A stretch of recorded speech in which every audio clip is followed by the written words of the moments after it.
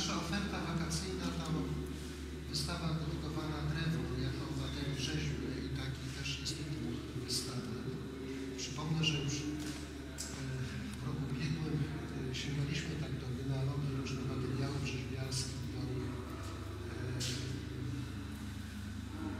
e, archaicznych konotacji, cech i, i tak pomyśleliśmy, że wystawa poświęcona drewnu mogłaby być również taką trochę e, niekonwencjonalną wystawą czy przewrotną, bo nie rozumiemy tego bardzo tradycyjnie jako e, zbiór przedmiotów wykonanych e, z drzewa. Tylko chcieliśmy pokazać, jak drewno na przestrzeni historii rzeźby współcześnie s- może stanowić e, źródło inspiracji i fascynacji dla artysty, jak e, różnych e, e, przy pomocy jak różnych metod może być potraktowane, czy to jako budulec, czy to jako właśnie materia, tak e, w sensie bardziej e, filozoficznym. Także chcieliśmy, żeby ta wystawa była różnorodna, żeby była trochę prowokująca, żeby była momentami nawet przewrotna, ale żeby jednak dotykała istoty e, e, takiej właśnie metafizycznej tego materiału, który zawsze budzi takie bardzo ludzkie skojarzenia poprzez bezpośredni, możliwość bezpośredniego dotyku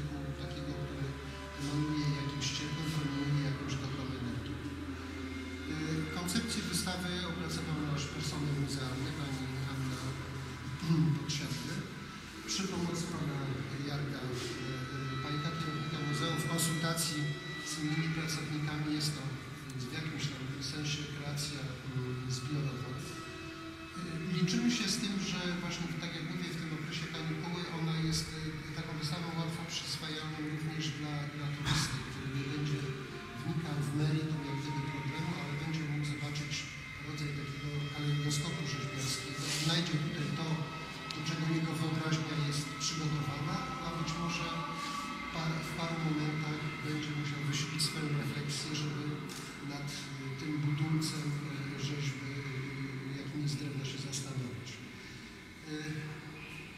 Oczywiście temat nie jest wyczerpany. Tutaj konfiguracja tych obiektów,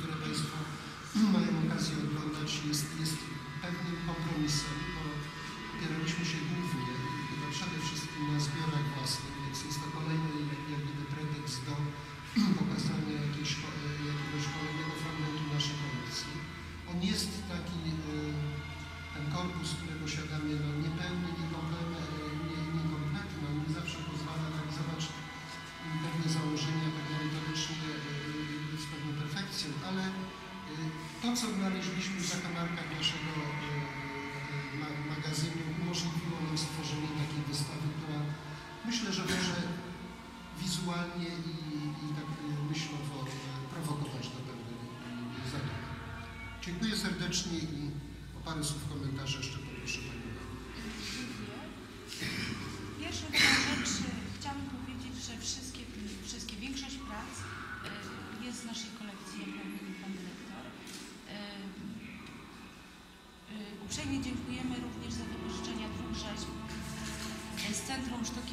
Współczesnej e, Elektrownia w Radomiu oraz Muzeum e, Wsi Radomskiej e, również w Radomiu.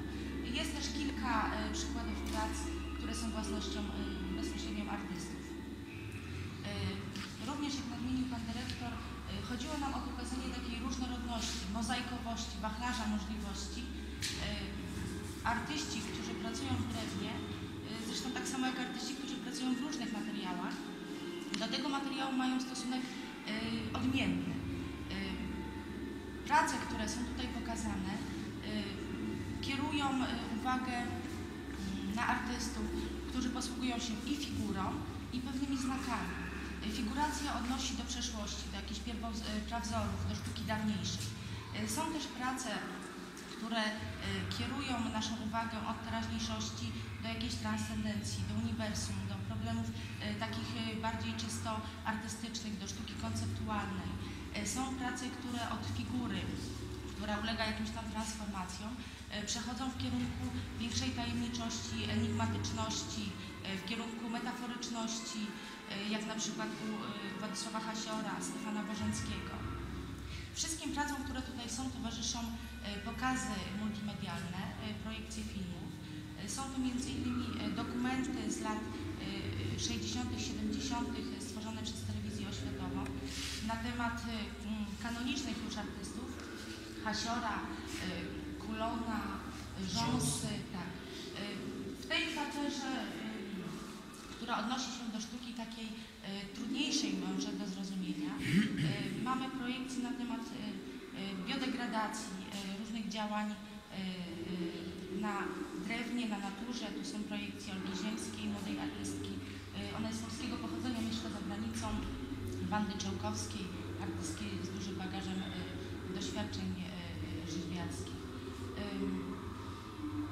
Może tyle. Ja zaproszę do zwiedzania i na mały wernisaż, na mały poczęstunek